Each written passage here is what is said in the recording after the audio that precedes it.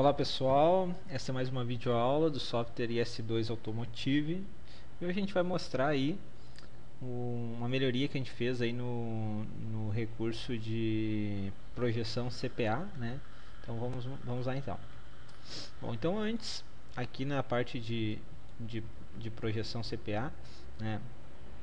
Aqui era aqui nessa na, na guia principal, agora foi para a guia financeira. É, você definia o que o fornecedor tem projeção, a, o dia de vencimento e o valor mensal. Né? Então era o que a gente tinha antes, né? Uh, no sentido de. E daí tinha, tinha a rotina aqui para gerar o CPA, que gerava valores para o ano seguinte, né? todos os meses, no dia de vencimento colocado aqui no valor colocado.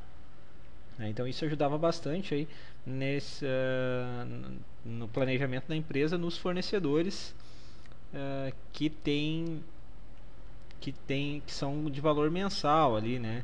Uh, as contas de energia, conta de água, aluguel e entre outros serviços que são que, que são mensal. Aí agora a gente criou a opção de de projeção por mês, né? Então a gente marca aqui a opção, coloca qualquer valor aqui no dia de vencimento e desculpa, no dia de vencimento coloca um valor correto, né? Uh, e coloca um valor mensal aqui, mas não, não vai ser esse que ele vai pegar. E aqui na, nesse grid aqui tu coloca o, o, os meses e o valor que vai acontecer em cada mês. E pode colocar uma observação.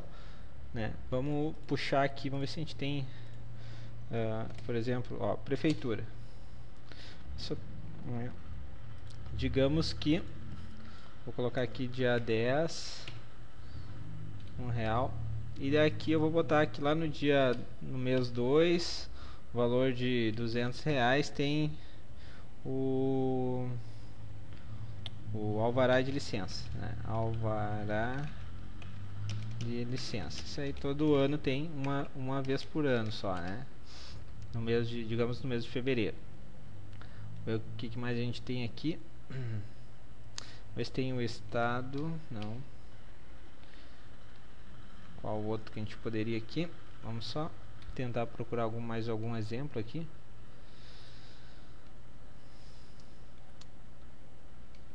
Vamos ver. Senão a gente coloca em qualquer código aqui mesmo. É, não tem nenhum que a gente queira aqui. Vamos botar o código 6 aqui. Digamos que esse aqui, no dia 10, ele tenha dois valores lá, sei lá, no mês 2 tem 500 reais, xxx, e no mês 4 tem 300, zzz. Então eu posso colocar, né, fazer essa configuração. Depois de feita essa configuração, eu venho aqui no miscelânea processamentos, gera a projeção CPA, vou colocar o ano que eu quero, né, 2017, boto uma condição em forma de pagamento só porque são informações obrigatórias, né, não, não vai influenciar em nada, e dou um OK aqui.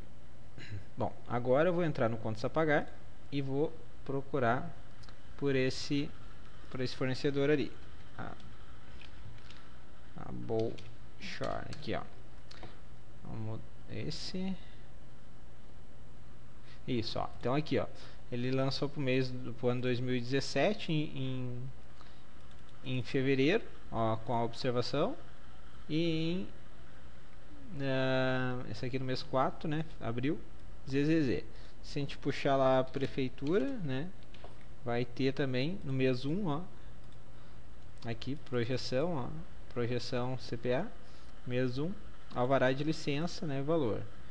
E se a gente pegar ali aquele, esse outro aqui, ó, que era esse aqui, pegar esse 2 aqui, esse daí era já o que já tinha, né, o valor mensal aqui, mês a mês, né. Então, com, com esse recurso, né, fica bem mais fácil aí fazer a, a projeção do contas a pagar da empresa para os anos seguintes ali, né, ou por um ano, né, depende de cada, cada empresa, né.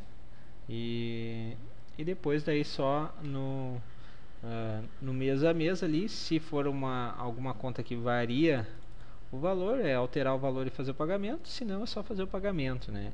E, com, e fazendo dessa forma aqui, né, fazendo essa projeção, principalmente dessas coisas que são fixas, né, tem condições de fazer a, o, a projeção do DRE, né, que ele utiliza como base essa, é, essa o quanto a pagar, né, então ele vai, tu pode fazer a proje, projetar o teu DRE para um ano seguinte com base nessas informações, né. E isso aqui tu configura e fez. E pode ser reprocessado, né, que a gente explicou em outra videoaula, enquanto não tiver pagamento, né, naquele, enquanto não acontecer nenhum pagamento nos títulos desse da, dessa projeção, pode uh, ser reprocessado e ajustando, né, até que se acerte todos os valores. Certo, gente? Obrigado.